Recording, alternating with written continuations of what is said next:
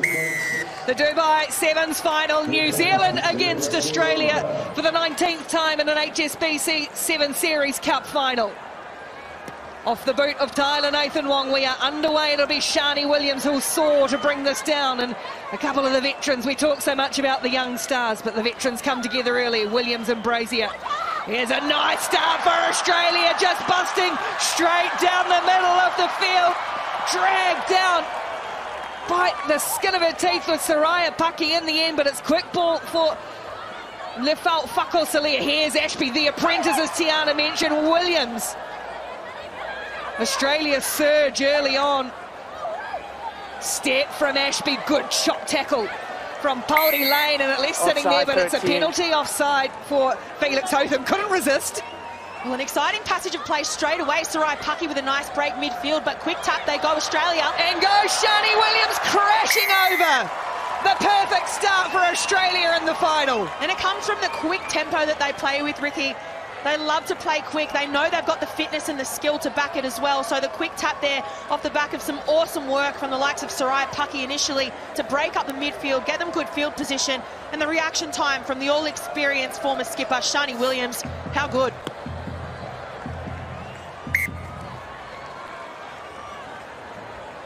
Williams will convert, and it's a perfect 90 seconds for Australia to get their game rolling in a 7-0 lead in the final.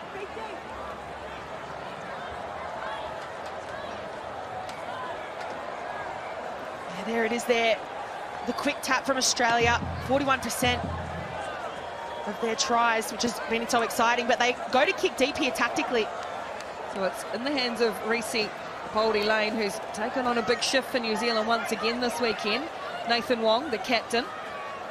Felix Hotham looks to accelerate through the gap and lays it back. Look at that good counter ruck almost there for Williams, but Nathan Wong was able to clear his. The 18-year-old Miller, an early ball for Blyde. Blyde on Faith Nathan.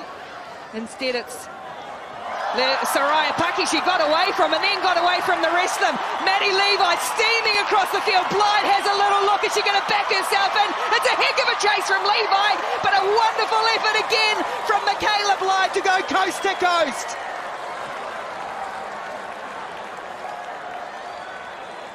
Wow, I'm speechless. It's a game of cat and mouse early on in this cup final, Ricky. But we spoke about it pre-game, the match up there on the edges, Michaela Blyde v Faith Nathan. And Michaela Blyde, all the experience, too strong up top. And look at how well balanced she is. She's got low centre of gravity. Just stays on her feet, fends off Sariah Paki and Faith Nathan. But what about the chase from the opposite side of the field? Maddie Levi, I'd love to see the GPS data on that. Eating up those metres, and Blyde knew it too. Levi, we talked so much about her attack. Defensively, she didn't make the stop in the end, but boy, Blyde had eyes on it just racking up tries this season and last, Michaela Blyde.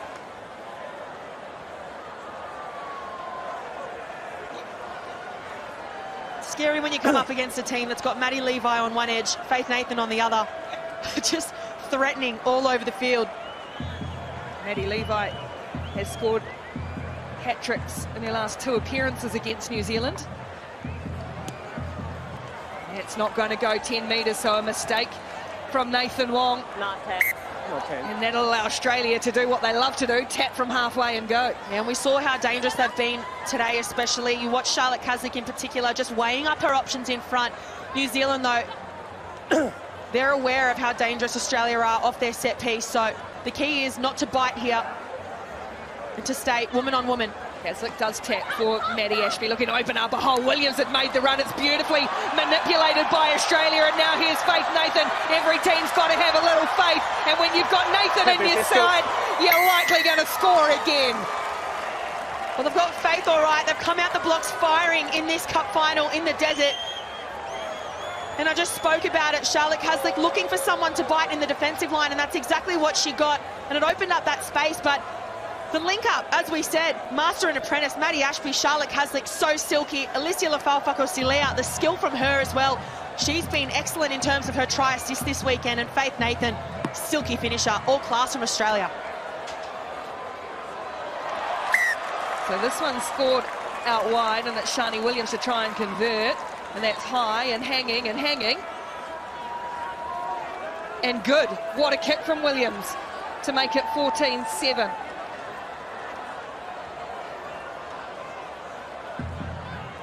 Wollomina watching on. It's going to find grass again. Australia liking this idea of just burying it long and putting New Zealand in their, their own 22. Felix Hotham for Backwards. Kaka. Hasn't seen any action away yet, Shiray Kaka, but she's got good footwork. Got through one, couldn't get through Williams. Miller. Pouri-Lane sizes up her option and then decides just to have a little dart and finds Miller on the switch and that's a good step off the foot, off that left foot from Jorja Miller. Recycles well. Does Australia have to track back this time? Felix Hotham likes to get sideways and then drop a little ball off for Kaka to use that footwork around the corner. Oh, man on here. Kelly Brazier saw Maddie Ashby coming just in time. Miller throws a flat ball and a nice bounce for Nathan Wong. Tries to find Oh, Blyde clattering through left, oh, Lefal Salia. She's tough though, is Alicia Lefal Salia. New Zealand building phases now, making Australia's defence do some work. Oh, chopping down. That's a great tackle. Williams ball still laid back though for Brazier to clear. Jorja Miller, 18, playing in her first Cup final and taking them on herself. Nathan Wong, oh, the footwork this time from Blyde. She absolutely did, Maddie Levi. Blyde gets a second. We go tit for tat in the final. Well, we speak about big moment players and Michaela Blyde is absolutely one of them, just getting the job done herself, coming up against two world-class athletes in Faith Nathan and Maddie Levi. She'll go, I'll go one better on both of you Good. and just showcase what class she is. Such a confidence player, and she's full of it at the moment, Michaela Blyde. Such a tricky athlete to defend because it's that little in and away. Sometimes she does like to cut back on your inside shoulder, which can hold you accountable there, but then the little in and away and the jink to take the outside, so impressive. Nathan Wong can't convert, so Australia go into the break, noses in front in the final, 14-12 over New Zealand. 14-12, Australia lead. New Zealand. And backwards by go, play on. Yeah, not backwards by Levi. Did well as New Zealand just over-jumped it. Oh, look at that strength of, again, Alysia Lefau-Fakaosilea. Tia Hinds onto the field now for Australia. Here's Casler. All those two, three big passes and across the field for Sariah Paki. Finding space for Nathan. We've seen how dangerous she is. This time stopped by Nathan Wong on the 22. Wong, Nathan Wong can't roll out of there. Got in an awkward position. Hinds goes and goes quickly. Oh, there was a big get there for Ashby. It's still there as Miller lost her foot and wide as Levi. She's going to stroll into straight, straight after the break. And this is how dangerous they are with the ball in hand, Australia. You've got Alysia Lefau-Fakaosilea, who takes on the line, draws in a few defenders because of how much power she has. And you've got the likes of Maddie Ashby, the playmaker, who's just so deceptive and so light on her feet, creates that space, creates something out of nothing, and then slings it out to the left edge puts it on a platter for Maddie Ashby. All class Australia. Maddie Ashby, well, Maddie Levi, that's 11 tries for the weekend. Most all time. No, no, I was going to say because Maddie Ashby's been just as good. Absolutely. Maddie Levi, that's 11 tries, and that's all time tries in Dubai. And look at the names on that list McAlister, Blyde, Woodman, Fluhler, and now this absolutely outstanding 20 year old Hard to believe she only made her debut on the World Series last season. Rookie of the Year for 2022 and nominated for World Rugby Sevens Player of the Year. Obviously, Charlotte Caslick coming away with that accolade, but so impressive, these youngsters in the green and gold. Again, overcooked. Oh, Levi couldn't bring it in this time as Pouri-Lane just gets unceremoniously dropped by a teammate in the background. A little in and away and round the other side. And Felix Hotham, great tackle. Demi Hayes, the co-captain, into the fray for Australia. Niall Williams out there now for New Zealand. Brazier for Reese Poldy Lane. Throws an ugly old ball for Nathan Wong, but the bounce is kind. And it might even work out all right here for New Zealand. And Shiray Kaka going to try and take on this Australian line. Looks for some support players. There's none there. And all just, yeah, unlucky for Hinds. Couldn't resist in the offside position. Yeah, the ball fell at her feet there. Obviously offside. but sometimes just that reaction time 19th Cup final meeting between 10 seconds. Australia and New Zealand. Absolutely phenomenal. And both of them Let's just sit have now, five wins apiece here in Dubai, but obviously Australia coming off the back of two wins last season. They never get old either, do they? You never get tired of them. Here's Niall Williams just holding on to that little ball. Here's Pouri-Lane, and now Brazier with Ashby all over it. Just got like a little terrier in there, Maddie Ashby. Brilliant. And away she goes, New Zealand backpedaling. Ashby takes it on. Caslick hangs on for Hayes. Nathan Wong just throwing her body around. Australia really pressing here if they could go ahead by two tries, two scores. They felt silly, a little bit of footwork herself this backwards. time. It's backwards. First one is backwards, second one knocked forward. And then knocked on, so it'll still be Australia's feet to the scrum. Australia playing with some really nice width and depth, which is forcing New Zealand to play that press defence, but you have to stick your one-on-one tackles. And to be fair, New Zealand have got the highest tackle completion this weekend and only one error there from New Zealand just goes to show how clinical both of these teams are in every area of their game. There's not much in it. Okay. Let's set up first and now time back One on. One error in the entire game at this intensity, okay, this fine, cauldron. 77. Okay. Completed. Okay, let's set up first.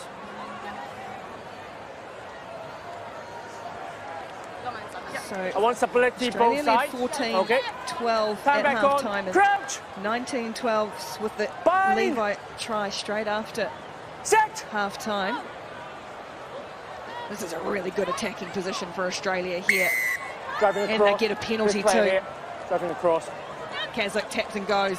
Wants to dictate the pace of this match. Hayes. Wrapped up by Brazier. Step.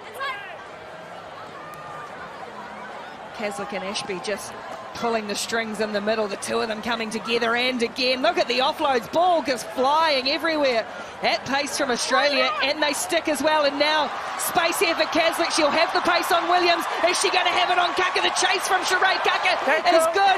Caslick can go, offload to Hayes. Hayes scores under the post. Australia stretch away. A silky passage of play there from the Aussies and how good the co-captains linking up. So well executed, but it's the composure from Australia with ball in hand. So far, 100% success rate with possession. And just look at the way they keep the ball alive.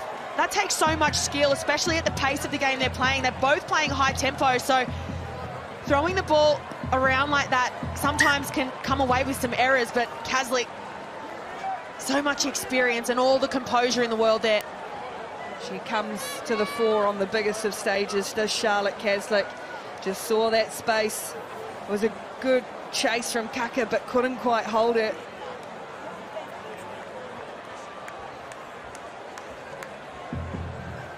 Demi Hayes elevated to the leadership of this team post the Tokyo Olympics, and what a leader she is, and that may be the decisive score. 26-12 now, Australia lead. Oh, and that one's brought down by Terina Te Tamaki, so New Zealand really need to be the ones to score next. Nathan Wong. One way, then the other. Brazier. Little stutter step for Te Tamaki again. Drives the legs. First Ashby, Ashby's good, finished that again, is she? Tackle. Oh, brilliant. Absolutely brilliant, Maddie Ashby. She has been in everything, and I don't think I've ever seen goal. Charlotte Caslick make a drop like that. No, you don't see that happen too often, but it is hot and humid out here in Dubai, and fatigue may be kicking in here in the last game of the go. Tournament. Australia, let's go. Two familiar faces up in the stands. Well, Stacey Fluhler, to be fair, Greg O'Shea looks just as nervous, Come on, but. Stacey No. Fluhler Seven. Is seven. struggling on. Seven she break. doesn't like watching at the best of times, and this is tough going at the moment. Australia in control of her New Zealand team. Completed. Okay, let's set up. Yeah, yeah, yeah. Oh, This is where they're good New Zealand. Stay here. Set piece. Time back on. They've got eight tries from set piece, the most of any team so far in Dubai. Less than a minute to play now. We've got one hand on this trophy, Australia again. Unless New Zealand can do something and do it quickly. Felix Hotham in one way and out the other. Spun to ground by Stay. Levi. Williams. You see the urgency, you get that sense of urgency now. Here's Ikenasio in her first ever tournament offloads to her housemate, Niall Williams. Blyde, haven't seen her since that last strike. Clock starting to tick down. As, oh, the pressure just comes flying in for Australia. It'll be a penalty. Yes, the Keep going. Now you're on. Now it's on the, line, on the line, rather, Brazier. Te Tamaki has had to put their head down. New Zealand. Time almost up in Australia. They are not missing we talk step. about their attack, their defence, absolutely superb. As per usual, the hooter goes. New Zealand have the ball, but Australia are going to have the title, even though Michaela Blyde is going to go in for a hat-trick in the final. It's too little too late this time.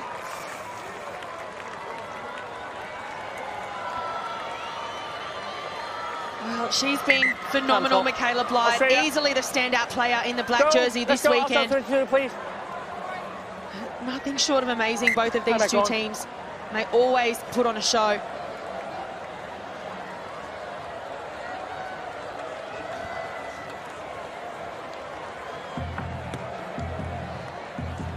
And they will celebrate again. Another richly deserved trophy in the cabin of the green and gold.